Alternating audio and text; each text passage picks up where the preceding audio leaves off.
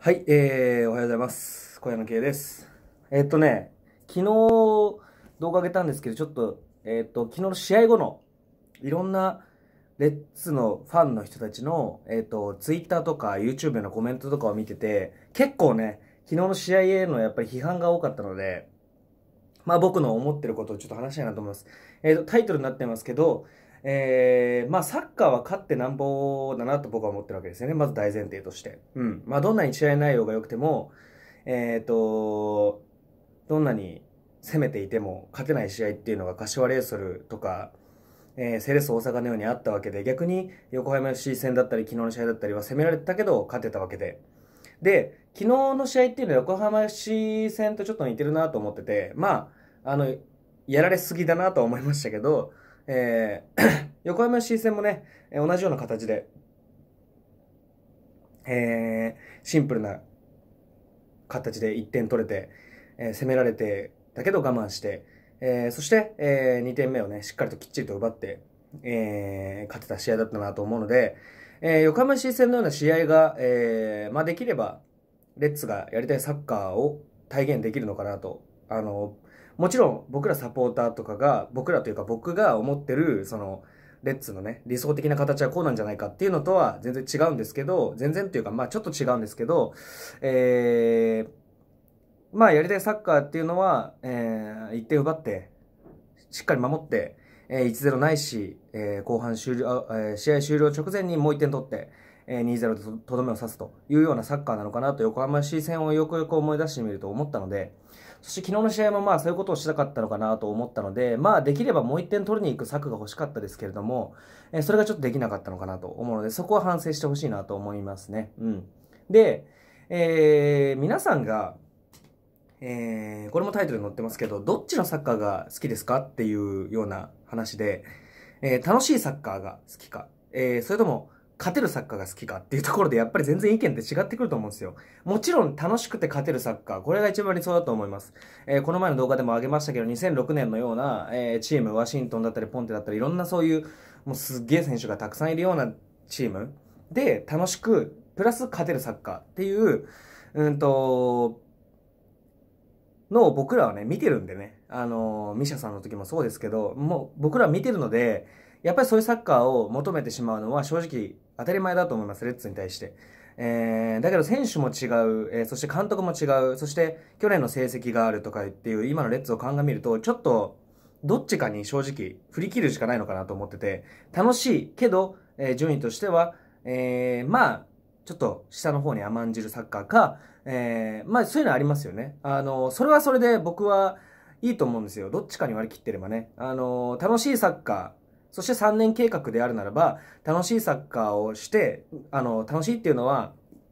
えー、見てて楽しいサッカーをして、えー、それでこう積み上げをしていく3年間。そうすれば、3年後にはこうなんか、そういうスタイルが花咲いて、楽しいプラス勝てるサッカーになってるんじゃないかっていう希望ももちろん持ってるんですよね。うん。それか、えっ、ー、と、まあ、結果をやっぱり求めるのであれば、勝てるサッカーをするっていう、このどっちかだと思うんですよね。どっちかに振り切る。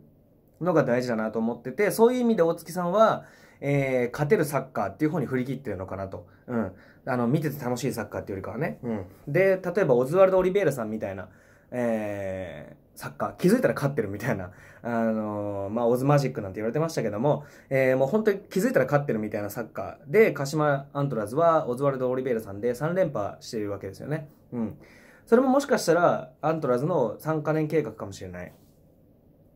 かったのかもしれないし、えー、なんて言うんでしょうね。だから本当に、あの、僕らが求めてるサッカー、多分みんなが思う楽しいサッカーっていうのはパスがボンボン繋がって、えー、まあ本当にミシャさんの時のようなね、えー、チームワーク、コンビネーションで崩すっていうところ、うん、だったり、えー、まあ、ぼ、もう、ボンボンボンボンシュート打ってめっちゃゴール入る義堂さんの時だ、のようなサッカーかなと思うので、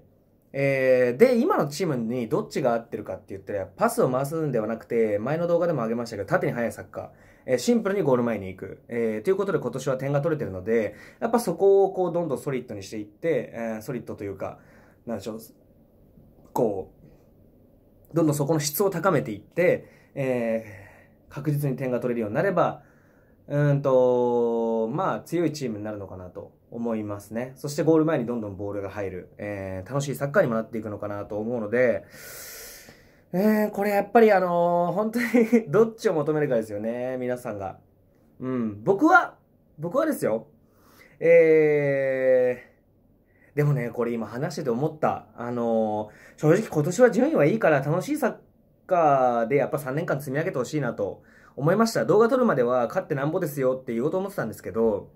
えー、正直僕の今の意見としては、えー、楽し、あの、見てて楽しいサッカー、えー、を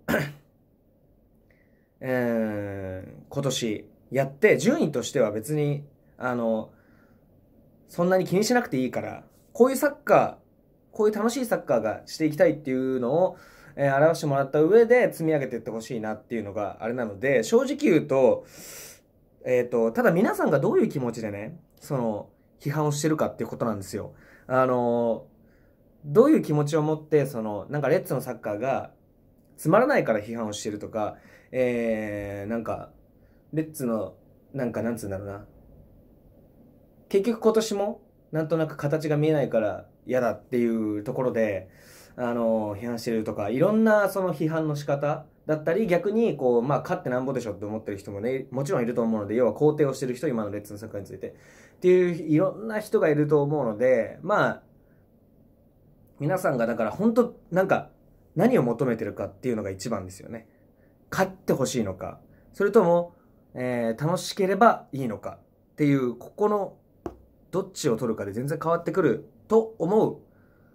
僕ですが、えー、その中で僕は、えー、ちょっと今話してる中で意見がちょっと変わった感じがするんですけど、えー、楽しく勝てるサッカーをやっぱり目指してほしいなと思っております。ということで、え、ー、と、まあ、結論を言うと、えー、3カ年計画の中で今年は、えー、まあ、昨日のように結果にこう、こだわった試合、えー、もちろん昨日勝ってよかったなと思ってます。もちろんね。そう、勝ったら嬉しいじゃないですか。そう。だけど、えー、昨日のように、こう、けなんつうんだろう。うん、勝、勝てる試合。とりあえず、ドン引きしたりして、守備にこう力を入れて、点取れる時に出てって点を取るっていうサッカー。うん、ってよりかは、なんかこうね、攻めれる選手がいるわけですので、前の動画でも上げましたけど、縦に速いサッカー、シンプルにゴール前にボールを入れて、もう、あの、縦ボーンでもいいし、えー、ドリブルだけでもいいし、えー、だから繋ぐっていうところを省略してね、えー、基本中盤を飛ばしてゴール前に早く行くっていうサッカーを、えー、やればやっぱ楽しいと思うんでね、ゴール前のシーンが増えて、サポーターも楽しい、選手も楽しいっていうことでね、えー、と思うので、あのー、なんでしょう、柏戦とか、えっ、ー、と、セレッソ戦で、あのー、正直攻めてたけどやられたっていうのはあったので、それが嫌だったのかな、大月さんはと思うし、サポーターとしても攻めてたのに勝てなかったっていうのがやっぱりこう色濃く残ってしまうので、じゃあ勝ち、勝つためにはどうすればいいかってなると、やっぱりね、あの、今日、この前の試合みたいに引いて守るっていう、引いて守って、えー、か、1点を取って勝つっていうようなサッカーにやっぱなってしまうのかなと思ったので、そこはもう気にせずね、えー、セレッソ戦だったり、柏戦だったりのようなサッカーを、えー、ぜひ繰り返してほしいなというふうに僕は結論としては思います。はい。で、えー、その上でね、しっかりと勝ち切るっていうところで、え、ー、と、それをやっていれば、なんでしょう。うん。やっぱ楽しいし、えー、そ、その絶対決めきるっていう力も質もね、上がってくると思うし、えー、その上で、えー、ディフェンス、カウンターへの対応の悪さっていうところが、えー、を3年かけて改善していく。えー、そして、えー、なぜカウンターを受けるのかと言ったら、やっぱりこう、しっかりとシュートで終わらないっていうシーンが柏戦、えー、セレッソ戦多かったので、あの、柏戦セレッソ戦が完全に良かったっていうか、柏戦セレッソ戦のように攻めてその上で、もうシンプルにシュートを打って終わるっていうところをやっていけば、つまりこの2つですよね。シンプルにシュートを打って終わる。そして、えー、カウンターへの対応。あとはクロスへの対応。3つか、だから。えー、カウンターへの対応、そしてクロスへの対応。この3つを3年かけて、えー、どんどんクオリティを上げていくっていうような3カ年計画であれば、すごくわかりやすく楽しいサッカーで、かつ勝てるサッカーになるのかなと、僕は思いました。今。そんな感じです。なので、皆さんとしては、えー、ちょっとどういうサッカーが見たいのか。えー その、えっ、ー、と、何回も言いますけど、僕は縦に速いサッカー、もうゴール前にすぐにシンプルに行くサッカーを、えー、3年間かけて突き詰めてほしいなと思います。えー、もう正直何点取られても、もう、まあ2点取られても3点取れば勝てるスポーツなので、あの、守備に重きを置くっていうよりかは、えっ、ー、と、3点取れればいいじゃないかというような感覚でございます。どっちかというと。はい。攻撃に、やっぱ重重心を置くようなサッカー、えー、がいいんじゃないかなと、個人的には今のメンバーを見たりとかしてると思います。はい。えー、そんな感じでございます。皆さんはどうでしょうか？どんなサッカーが見たいでしょうか？そして、えー、レッツにはどういうチームになってほしいでしょうか？ぜひぜひ意見をね、コメントとかで聞かせてくれたら嬉しいです。えー、というわけで今日はありがとうございました。えー、引き続き何か、何かじゃねえや。この次ね、ちょっと違う動画上げたいと思いますので、えっ、ー、と、どんな選手をレッツに取ってほしいかとかっていう動画をちょっと上げたいなと思います。ということで、えー、まあそんなね、楽しいチームになってくれることを願っております。We are Let's Bye Bye!